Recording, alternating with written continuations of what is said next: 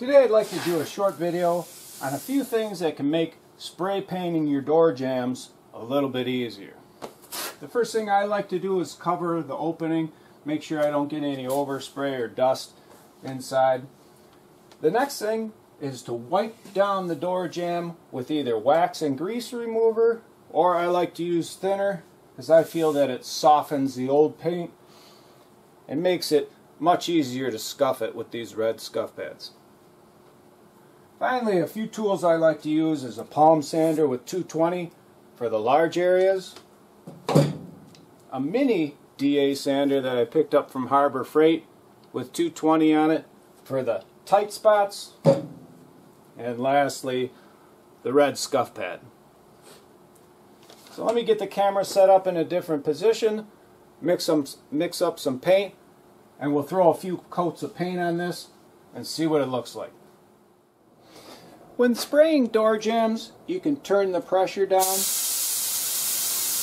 and you can focus your spray to a little bit more of a point.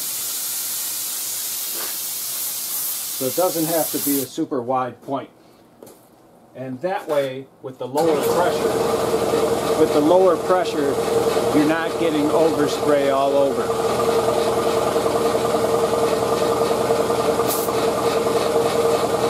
So this will be the first coat, and it's just going to be a tack coat, very light.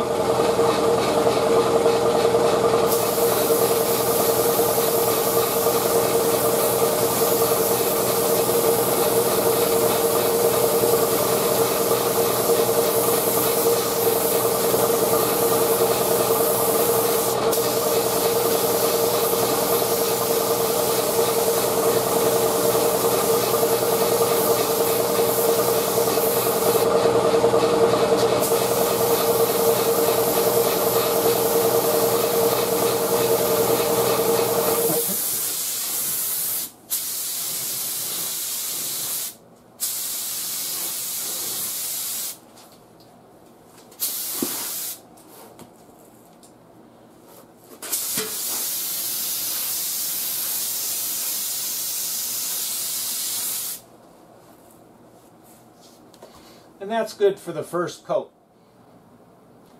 One thing I'd like to point out before the second coat is that I always scuff further than where I'm going to paint. So if I'm going to be painting up to about here, I'm going to be scuffing up to here. Now, you will have a little bit of light scratches, and if you're worried about that, you can use the gray scuff pad, or you can paint the whole door jamb. But you, with this method, you can sort of blend it in and you'll never notice. And this will be the second coat, and this will be a medium to wet coat. And I'm going to try to stay out of the way so you can see what's happening.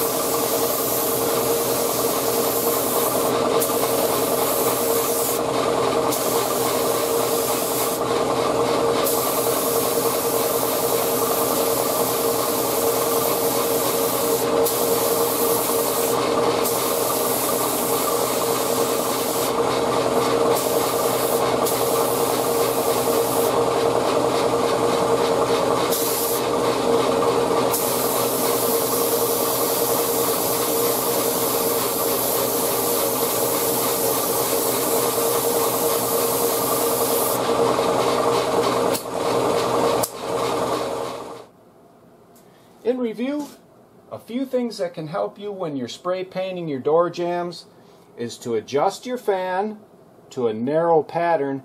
That way you'll be a lot more accurate. Another thing is to decrease the air pressure to eliminate overspray in unwanted places. And finally, you can adjust your fluid control so that there's less fluid coming out and you'll get less runs.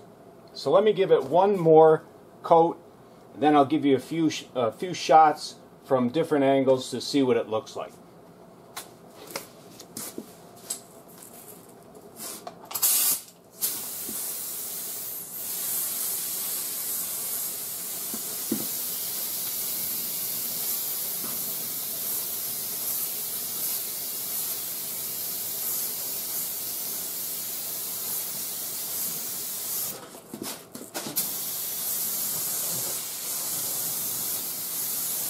I hope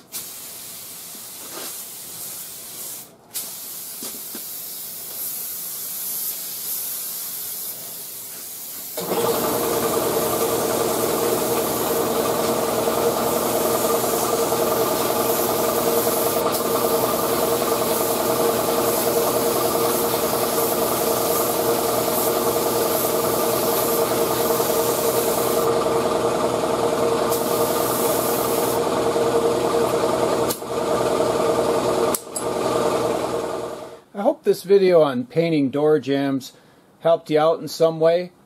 And if it did, and you'd like to get my latest videos, don't forget to hit the subscribe button.